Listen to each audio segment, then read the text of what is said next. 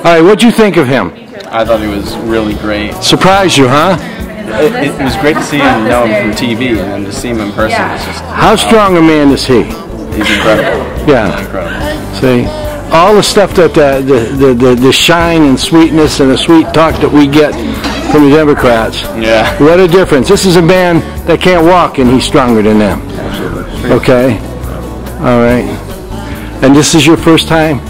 This is the first time I've seen Mr. Krauthammer, and this is my son Michael, and I'm continually apologizing him for the country we're leaving him. But after seeing Charles's speech, I'm starting to have some hope. I think there's always hope given the resilience of the American people. Okay, what'd you think? It was fabulous. Uh, told it like it was and frightening. Frightening, yes. Yes. Did he, did he, did he frighten you a little bit, Chris? The amazing truths that he came out? Kinda, yeah. Instead of being conned on, on TV like we are so It's often. actually funny. Yes, he is. Hysterical. There's a lady over here. It was great. It was just absolutely fabulous, and he had a lot of great things to say. Um, you know, I know my father loves him. He's just great event, great event. Could be more excited. Thank you. four years, I can honestly say, over all the big speakers we've had, this is truly the pinnacle of my college career.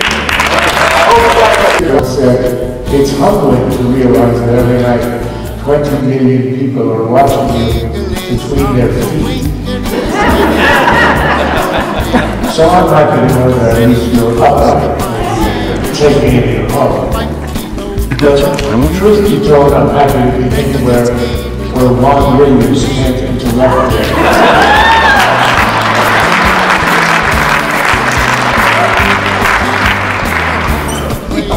Tell him how you feel.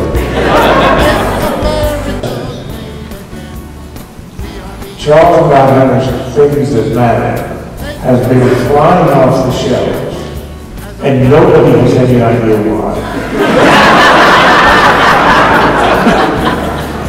the last time I got So, ladies and gentlemen, only 21 months to go.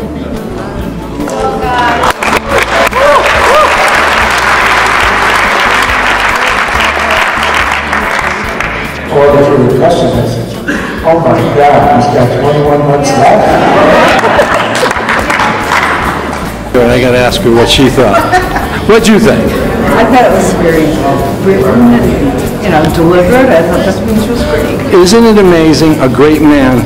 He, he's he's just in a wheelchair, and he's helping to save our country from a wheelchair. How great a man is he? At least not thinking about himself, which is nice. He's not, you know, he's very open-minded. He's very educated. I like the way he speaks. Oh, yeah. And you get puzzled, he looks over and says, feeling a bit standoffish today, are you, Winston? Churchill looks back and says, not at all, my dear Clement. It's just that every time you see something large, you want to nationalize it.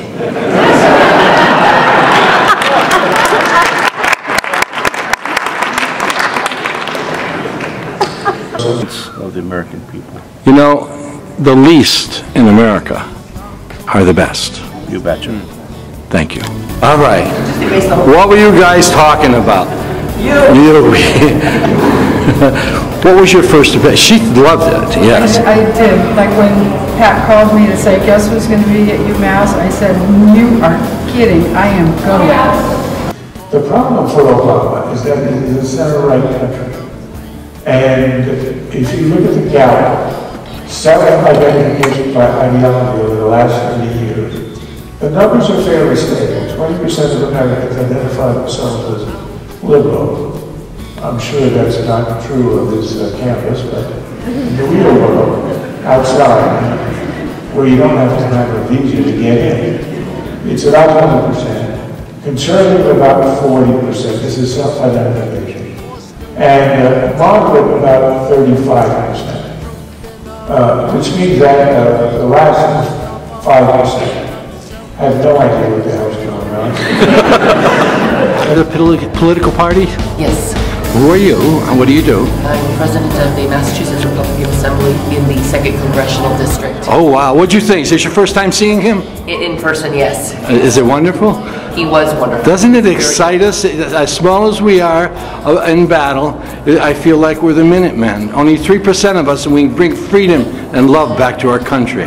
Absolutely. He is very knowledgeable, and his knowledge, sharing it with us, was wonderful.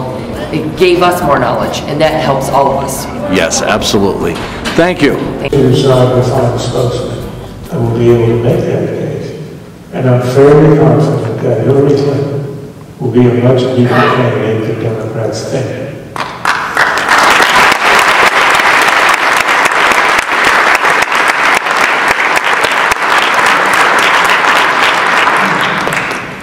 You way they said last week, uh, there, uh, there is not a shred of evidence to support these charges? Well, of course, that's because they shredded all the evidence. Even is if and when riots break out nonetheless, defend the damn city. It is a disgrace the way that apparently was, I'm not hundred percent sure, but this is what I heard before coming into that. It was an order for the police to stand down on the night of the riot. That's the way we covered riot. And when you get the mayor of the city saying, there are those who came to destroy, and we had to give them space to destroy, you have to ask yourself, uh, who's running this insane asylum? Or should you stand by and open for it? But there is a fundamental resiliency, a fundamental decency, and a fundamental common sense American people, which is the reason that in the end, we get it right. As Churchill says, the Americans always do the right thing after having tried everything else. well, we just had six years of trying everything else, and I'm quite convinced we're going to do the right thing. Thank you very much. Thank you all again so much for coming, uh, making this night really what it is. Um, I want to thank Dr. Crown for coming as well. It was amazing. It's exactly what we expected, so thank you again. Nice shots, too. Okay. Did you guys have a good time? Let the word go forth.